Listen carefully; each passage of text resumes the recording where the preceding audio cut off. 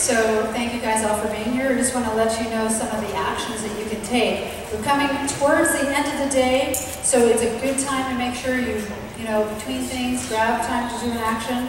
So you can uh, visit Move On and Progressive Democrats to support Senator Boxer's, uh, Boxer's carbon tax, if that's something that you agree with. Um, you can go out to Good Green Moving right outside. They can give you a free consultation. They've reduced their carbon uh, footprint 80%. So if you're choosing a move, they'd be a good choice. there are mover everything Marin. Uh, Marin Sanitary has an action-oriented pledge sheet. They have a lot of different things that you can do. Um, one of the things that we could all do that would really help with Marin Sanitary is to compost. Curbside compost, like 100% renewable energy, is a privilege we are so lucky to have here in Marin County. I can't get over how wonderful those things are. They make a huge difference in my life, and I hope that you will join in and do those things too if you aren't already. Um, so I want to also let you know about a few other things.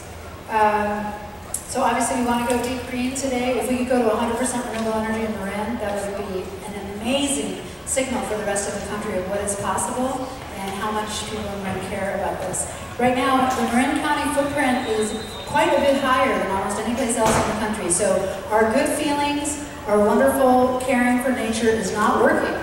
Let's just be honest, it's not working. What we're doing is not working. We have to join in with organizations that have expertise, like Resilient Neighborhoods. We have to join Citizens Climate Lobby and 350 or whatever other organizations that you feel aligned with. Um, we really encourage you to do that. We're, it's not working. We're going way in the wrong direction, even here in Marin where we love the environment. So please be involved with that. So please uh, go stop by Marin Transit. Get the real-time transit site on your phone. You can have a phone number, you can have a website. You've got to get it on there because you're not going to take public transit if you don't know when the bus is coming, and if you have real time, you will know.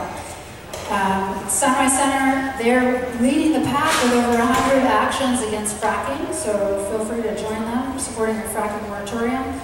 We talked about resilient neighborhoods. Citizens Climate Lobby and 350.org are encouraging people to take vitally needed action on the Keystone XL pipeline. We're going to hear more about that in the film that we're going to show afterwards. Um, and uh, I'm sorry, excuse me.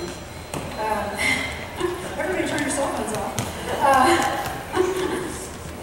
um, so I just wanted to say that um, join Citizens Climate Lobby 350, move on, any group that you feel aligned with. We're not telling you which one to join, but we want you to join some group that's doing something and really be part of the solution to get the support that we all need to do this right. So, um, yes, so you can learn more about the XL pipeline. At 5 o'clock when we're going to be showing 350's eagerly anticipated film, do the math, a very, very important landmark film being released nationally tonight. We're getting it two hours early because we're so lucky. So please be here at 5 o'clock for a special sneak preview on that. And I see Garth Lenz coming in. Thank you, Garth Lenz, celebrity guest from Canada, TEDx speaker, internationally published and very influential photographer, all the way from Canada, to join us, to do something, to tell us about the true cost of oil, which is the name of his um, his work uh, about the tar sands in Alberta. So we're going to see some of those images. Um, let's see, I want to let you know that you can find out more about these resources if you go to earthdaymarin.org. So please join us, join our Facebook page, join our Twitter so that you can keep up to date and get involved in more of these actions afterwards. So I think we're going to need to move on to the next occasion. Can we have the next slide? Am I going to have the opportunity to interview Jack? That's so cool. Okay, Robin, why don't you uh, get us ready for that, and I'll get.